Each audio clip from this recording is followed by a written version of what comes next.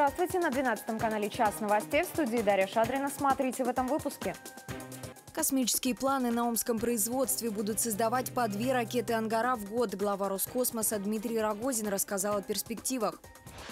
Десантники, ракетчики и школьники. В юнармию мы пошли э, из патриотических э, соображений, грубо говоря, только для того, чтобы как-то в наших школьных кругах развивать патриотизм. Юнармейцы впервые приняли участие в параде на Соборной площади в Омске. Отметили 23 февраля. Дороги, кадры, жилье Александр Бурков обсудил с главами районов планы по развитию территорий. Вокруг света, не покидая Омск. Парк Птичья Гавань на несколько часов превратился в такую туристическую уменьшенную модель планеты. Все туристические забавы, какие-то возможности, которые доступны в нашем регионе, распределены по площадкам, и каждый представляет из себя какую-то страну. Какие сюрпризы ждали мечи на туристическом фестивале? И до старта плей-офф несколько часов ястребы уже на льду. Ждем прямого включения Анны Кокориной из Балашихи.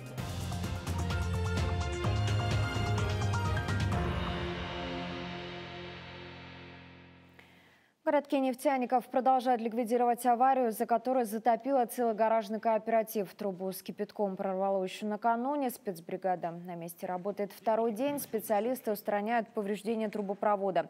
Сколько времени еще понадобится на работы, сказать пока трудно. Шесть административных зданий сейчас отключены от теплоснабжения. Вот что нам сообщили в единой дежурной диспетчерской службе.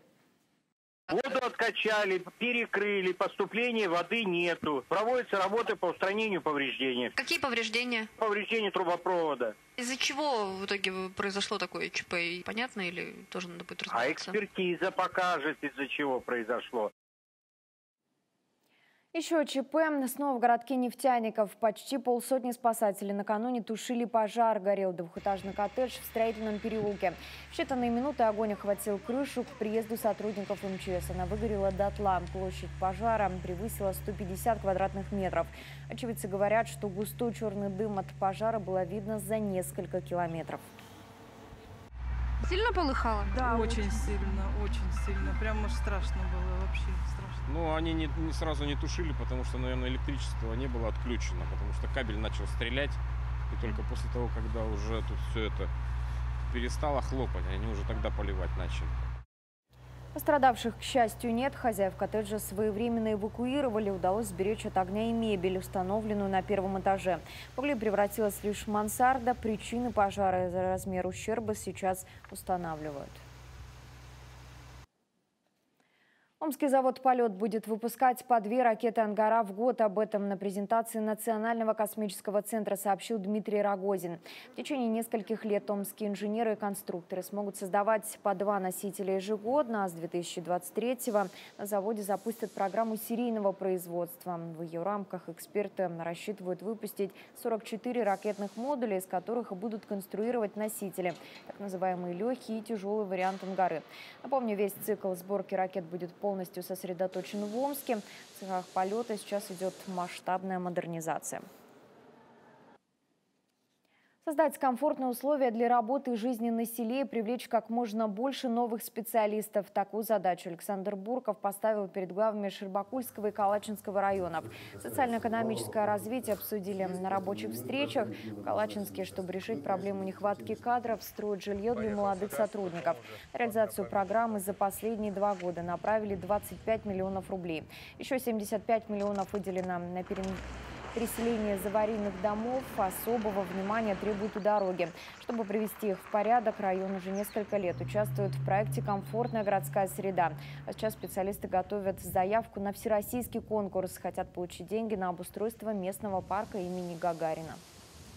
Есть вопросы по медицине, это понятно, тут на стыке у, у Министерства здравоохранения, и вас, ну, работу эту нужно делать совместно конечно, беспокоит и вопрос безработицы. Вот. А так э, вопрос состояния дорог, там, тротуаров, вся эта проблема, ну, она, как говорится, старая, но решать Нет, но у нас на сегодняшний План социально-экономического развития представил губернатору и глава Шибакульского района Александр Малаканов. Несмотря на то, что в последние годы весомый урон сельскому хозяйству принесли паводок и чума свиней, район по-прежнему остается в числе крепких. Губернатор особое внимание обратил на дороги, состояние трассы Шибакуль-Солнцево на контроле у Александра Буркова. Ее ремонт в числе приоритетных обсудил губернатор с главой муниципалитета и другие направления работы, также перспективы развития района. Хотелось детально, может, проговорить по тем направлениям, которые на которые необходимо обратить внимание, где доработать, угу. где э, приложить усилия для того, чтобы мы могли все-таки жизнь в районе сделать лучше, да, и доверие наших хомячей оправдать. Угу, Потому что планы большие, понятно, что не все просто, вот, но тем не менее работать мы с вами будем активно и решать поставленные задачи перед нами президентом и правительством Российской Федерации. Праздничным парадом в Омске отметили 23 февраля в полдень по Соборной площади маршировали военные Омского гарнизона. Впервые в этом году в параде приняли участие юноармейцы. Не обошлось и без конкурса строевой песни. Никита Смирнов с места событий. Здравствуйте, товарищи! На Соборной площади все подразделения Омского военного гарнизона, десантники, ракетчики и связисты, кадеты и курсанты автобронетанкового института, чеканят шаг и демонстрируют идеальную выправку. Впервые в строю юнормейцы, общественное движение школьников здесь на общих основаниях. Все как у остальных, свое знамя, устав, четкий строевой шаг и песня о долге и любви к родине. 23 февраля это как бы всеизвестный всероссийский праздник э, именно в честь мужчин, не только которые служат или где-то занимаются, а именно для всех мужчин, будущих, настоящих защитников Отечества. В юнармию мы пошли э, из патриотических э, соображений, грубо говоря, только для того, чтобы как-то в наших школьных кругах развивать патриотизм. С Днем защитника Отечества виновников торжества поздравил глава региона. Александр Бурков наблюдал за парадом с трибуны. Военной выправкой и дисциплиной бойцов подразделений Омского гарнизона губернатор остался доволен. Праздник, безусловно, отмечаю сегодня с гордостью, потому что наша российская армия действительно в расцвете. Это праздник сегодня всей страны. Это праздник, который включает в себя многовековую историю наших побед, сражений. Да? Это праздник ветеранов Великой Отечественной войны. Это праздник э, ветеранов локальных войск, которые за границами своей страны, но отстаивали интересы независимости и суверенитета России. Парад собрал сотни зрителей. Небесная канцелярия не подвела. Праздник получился теплым и солнечным. Для всех мужчин это, во-первых, знаменательный праздник для наших защитников Отечества, которых мы очень сильно любим. Женщины должны э, еще больше уделять своего внимания своим любимым мужчинам, э, поздравлять их э, как можно лучше. И, ну, тут не обязательно в 23 февраля, а вообще каждый день надо любить своих мужчин и делать для них праздник. Для нас это очень серьезный праздник, который мы всегда отмечаем всей семьей. Вот у меня два сына. Каждый год ходим на празднование, понимаем, что это важная и нужная профессия, которую каждый мужчина должен пройти, а женщины должны нас в тылу дождаться, поддержать. И в мирное время это бой всегда продолжается. Курсанты автобронетанкового института из Анголы вместо традиционного марша под славянку исполняют национальную патриотическую песню на португальском языке, чем заставляет зрителей удивиться и улыбнуться.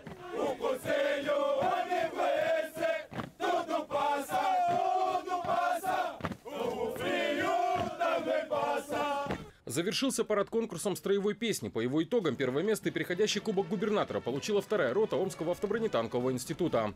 Никита Смирнов, Сергей Никифоров и Дмитрий Алдыгепченко. 12 канал. На выходной за прошедшие праздники жителям страны вернут в мае. Нерабочий день, который пришелся на День защитника Отечества, передвинули на 10 мая. Поэтому в последний весенний месяц отдыхать будем не только с 1 по 5 число, но и с 9 по 12. Впрочем, следующие небольшие каникулы всем россиянам подарят уже через полторы недели. В марте выходные продлятся с 8 по 10 число. Кругосветное путешествие в пределах Омской области сотни мечей стали гостями турфеста. На площадках не только рассказали о возможностях для путешествий, каждая представляла собой какую-то страну мира. Грецию, Канаду, США, Исландию и, конечно, Россию. Наш корреспондент Елена Смирнова опробовала все на себе и даже научилась летать на метле. Парк Птичья Гавань на несколько часов превратился в такую туристическую уменьшенную модель планеты. Все туристические забавы, какие-то возможности, которые доступны в нашем регионе, распределены по площадкам, и каждый представляет из себя какую-то страну. А, страны не только реально существующие, есть и, например, одна сказочная. Вот а, эту площадку подготовил музей сказки Васин Хутор. Мы сейчас узнаем, что здесь а, есть. Вот Баба Яга есть прекрасная. Здрасте, Ой, на метле. Привет, привет, привет. На метле научите летать? Обязательно научим. Это же наш настоящий полет на метле. Каждый может попробовать, обязательно. Верхом ее нужно вот так оседлать, вот так вот. Раз! И, и главное держать ее крепко, чтобы она не выскочила. А вот, например, э, эта площадка представляет э, Канаду. В частности, здесь можно научиться кататься на охотничьих лыжах, правильно? Да. А, Расскажите, пожалуйста, что здесь главное, что нужно, какая подготовка? Ну, лыжи здесь широкие, как видите, деревянные. Они бывают подбиты оленем мехом, вот, бывают просто современные на пластике. Вот. В таких лыжах очень удобно ходить по глубокому снегу, потому что не проваливаешься. И, в принципе, можно тропить лыжню в любом месте. Что нужно? Какая-то, может быть, изначальная подготовка нужна, чтобы встать на лыжи? Или любой желающий вот с нуля может... Самое главное – это желание и хорошая физическая форма. Понятно. Я пролетаю, Здоровый образ жизни. Здоровый образ жизни.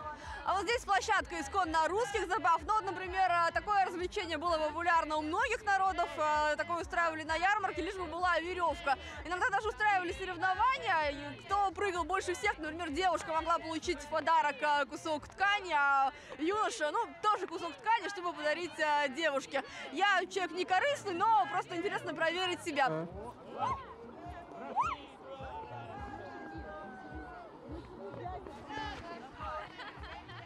Очень сложно, зато согревает и бодрит. Всем советую. Судя по количеству гостей птичьей гавани, судя по тому, что все они в хорошем настроении, каждый увлечен э, чем-то, какой-то площадкой, можно с уверенностью сказать, что турфест состоялся. Ну а если вы мечтаете о кругосветном путешествии, но не знаете, с чего начать, откладываете, не решаетесь, а попробуйте начать с, э, может быть, не очень э, дальнего, но увлекательного путешествия по родной Омской области. Мы убедились, у нас тоже есть что посмотреть и чем заняться и увлекательно провести досуг. Инна Смирнова, Дмитрий Алдыгевченко, 12 канал. Марки по цене автомобиля «Амич» продают коллекцию редких почтовых марок за полмиллиона рублей. В альбоме 350 экземпляров. Все они иностранные, посвящены природе и культуре колониальных государств. Совсем не символическую цену владелец коллекции объясняет тем, что некоторые марки уникальны. Их копий нет во всем мире. Ценные экземпляры, по словам продавца, достались ему от отца. Коллекционирование было делом всей его жизни. «Авангард» сегодня начнет битву за Кубок Гагарина. Первый раунд плей-офф стартует в КХЛ, в том числе и матчем в Балашихе, где мячи сыграют с действующим чемпионом Акбарсом. В регулярном сезоне команды встречались дважды. В Казани сильнее были хозяева, победив в овертайме. Ястребы в сентябрьском матче в Балашихе обыграли барсов по булитам. Отмечу, что у букмекеров сегодня фаворитом идет «Авангард». Ястребы, кстати, в эти минуты готовятся к игре. На арене Балашиха идет утренняя раскатка. И на прямую связь со студией выходит наш корреспондент Анна Кокорина. Аня, здравствуй. Удалось уже пообщаться с хоккеистами. Как настрой команды? Здравствуй, Даша. Вообще, если честно, здесь, в Балашихе, чувствуется, что все замерло вот к предстоящей битве. Дело в том, что нас не пустили на лед. Единственное, что мы можем вам показать, это вот как команда разминается через вот это окошко. Чтобы вы понимали, в подобных условиях проходила раскатка и казанской команды. Никого, ни из журналистов, не было представителей пресс-службы, не пускают. Очевидно, ну, настолько все очень серьезно. Оно действительно оправдано, поскольку встречаются команды довольно-таки равные по своим и показателям, и по э, положению в турнирных таблицах. Но от того, собственно, хоккей выигрывает, поскольку будет мощный, достаточно напряженным. И вот сегодня на раскатке мы вот тут пока наблюдали, заметили, что много было остановок. Боб Хартли что-то показывал на планшете, объяснял. Ну, очевидно, будет и тактика, и мы увидим индивидуальное мастерство наших хоккеистов.